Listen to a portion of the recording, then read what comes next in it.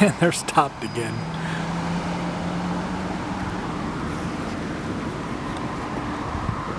Wouldn't hurt, wouldn't hurt for me to hit stop.